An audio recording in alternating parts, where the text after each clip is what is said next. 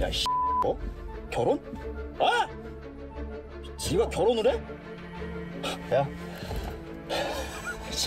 야, 나 너 못 보내. 어? 개소리야. 야, 너는 결혼하고 난 하지 말라고? 내가 누구랑 결혼을 하던 간에. 아, 야, 너도 내 거라고. 알겠어? 너 진짜 미쳤니? 너 왜 그래? 너 완전 사이코패스 같아, 미친놈아. 아, 희영아, 너도 알잖아. 어?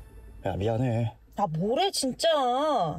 야, 그때 내가 속으로 얼마나 다행이다 했는데. 참, 너 변태인 거 알면서 험한 꼴 당할까봐 내가 먼저 헤어지자 말도 못했어. 왜 이래? 야, 아무튼 너 못 보낸다고. 미쳤네, 진짜. 너, 너 대한민국에 네 얼굴이랑 네 몸뚱아리 모르는 사람 없게 만들고 싶냐? 어? 한번 쫙 뿌려줘? 진짜 사이코 새끼. 야, 희영아. 오빠 말 명심해. 너 이거 마지막 경고야. 알았어?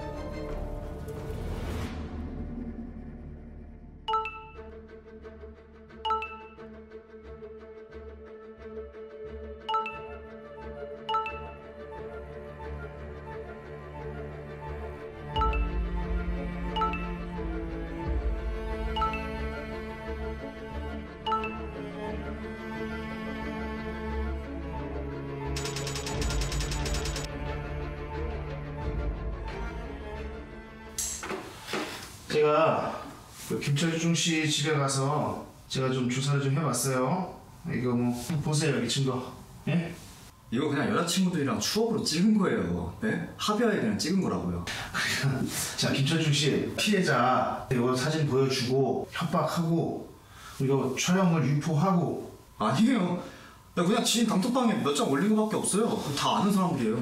아니 그게 그게 유포예요 선생님 그게 아 그리고 아는 사람 단톡방에 여자친구 이런 사진들 가슴 엉덩이 이런 사진들을 왜 올립니까 이거를 왜 예?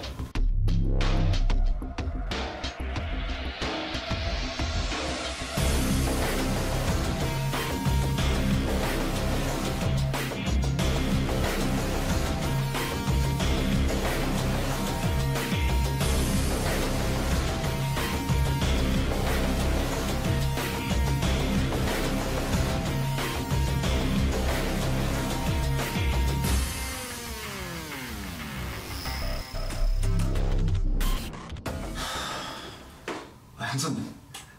아, 근데 제가 이거 올리면서 아니, 돈을 받거나 그러진 않았거든요.